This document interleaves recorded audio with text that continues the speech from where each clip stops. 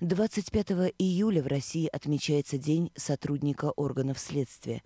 Майор юстиции Алина Дубасова в следствии 10 лет. Начиная простым следователем сейчас, Алина Владимировна – заместитель руководителя первого отдела по расследованию особо важных дел о преступлениях против личности и общественной безопасности Следственного управления Следственного комитета Российской Федерации по Тверской области.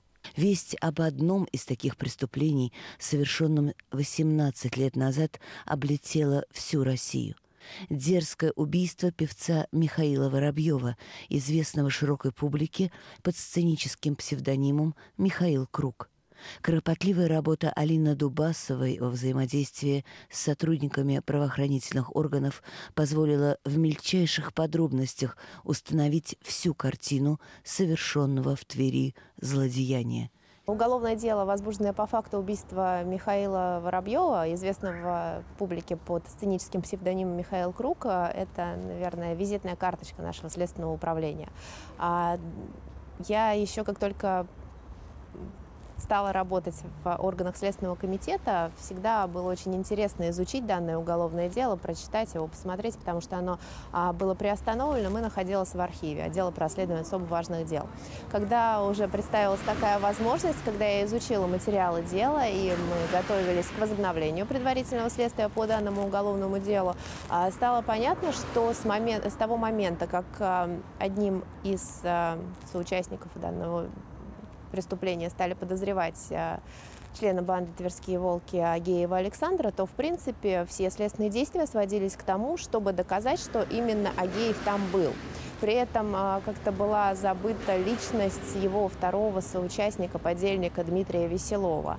И тогда мною было принято решение, что необходимо отработать, наверное, всех друзей, знакомых, родственников, девушку Веселову, потому что к самому Веселову, у самого Веселова спросить что-либо было невозможно, так как на момент возобновления предварительного следствия он был уже мертв, так его убили в 2003 году.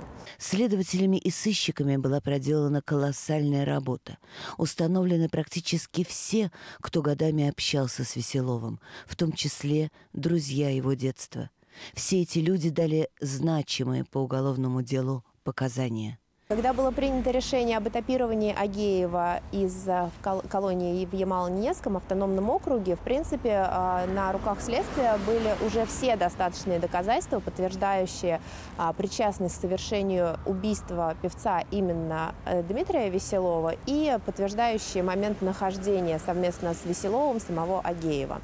А никто не ждал от Агеева признательных показаний в тот момент, когда мы этапировали его в следственный изолятор города Твери. Удалось э, наладить психологический контакт с Агеевым, а в результате чего Агеев э, дал подробные показания об обстоятельствах случившегося в ночь на 1 июля 2002 года. С ним были, был проведен ряд следственных действий, и по окончанию расследования по уголовному делу было принято решение о его прекращении в связи со смертью подозреваемого, то есть э, Веселова Дмитрия. Данное решение было было а, признано законным и обоснованным как аппаратом Следственного управления по Тверской области, так и прокуратуры Тверской области и Центральным аппаратом Следственного комитета России.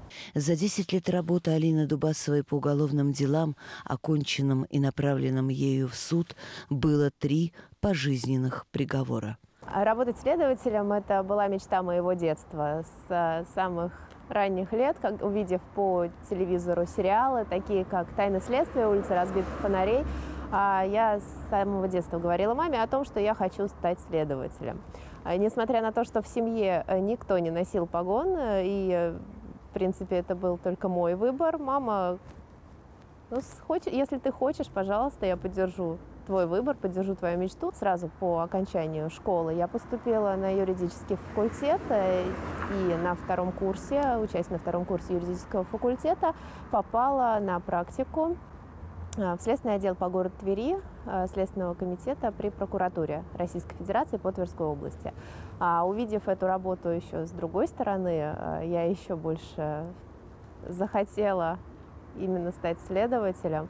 А, то есть я поняла, что это моя мечта, и я в ней не ошибаюсь. Я некоторое время была общественным помощником следователя, и по окончанию университета, получив диплом, а, стала работать следователем Калининского межрайонного следственного отдела, Следственного управления Следственного комитета при прокуратуре Российской Федерации по Тверской области. Несколько лет назад жизнь Алины кардинально изменилась. Она вышла замуж и родила дочь. Свое личное женское счастье Алина нашла именно на работе. Ее муж работает в уголовном розыске, а потому хорошо понимает специфику службы любимой супруги. Если моя дочь когда-нибудь спросит меня, какую работу выбрать, поделилась с нами Алина, отвечу, выбирай следствие, точно не ошибешься.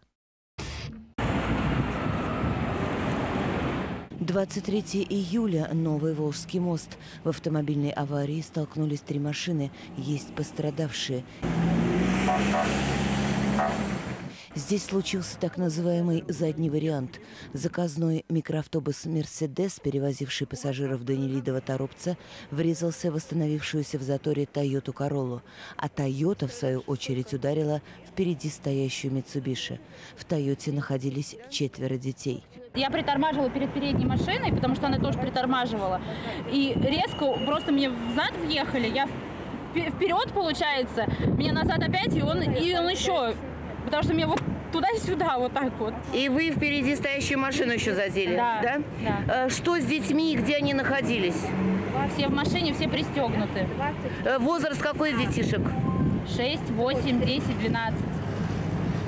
Это кого доставили в больницу? 6 и 8 лет. Как позже выяснилось, в аварии пострадал еще один десятилетний мальчик. Он вместе с родителями в этот день приехал в Тверь к знакомым из Иркутска. В этот день гости города хотели погулять по городскому саду. Без приключений не получилось. Тут затор был, машины стояли, там рельсы снимать, и машины, мы встали. Ну, сколько, минуту две постоял, вот такой удар всего. Он не заметил, что вы остановились? Не знаю, он сказал, у него тормоза не работают. Просто, наверное, отвлеклись от дороги. Почему не заметили? Потому что, чего отвлекся? Не отвлекся. А почему тогда Даша вот говорит, вот этот водитель машины, что у вас тормоза не работали? Почему на тормозной присутствует? То есть на тормоза работали все нормально? Да не, не работали. Вот это передние тормоза работали, а вот задние нет вообще, там нет э, тормозной, тормозного пути. По данным ГИБДД, причиной аварии стало несоблюдение водителем заказного «Мерседеса» безопасной дистанции.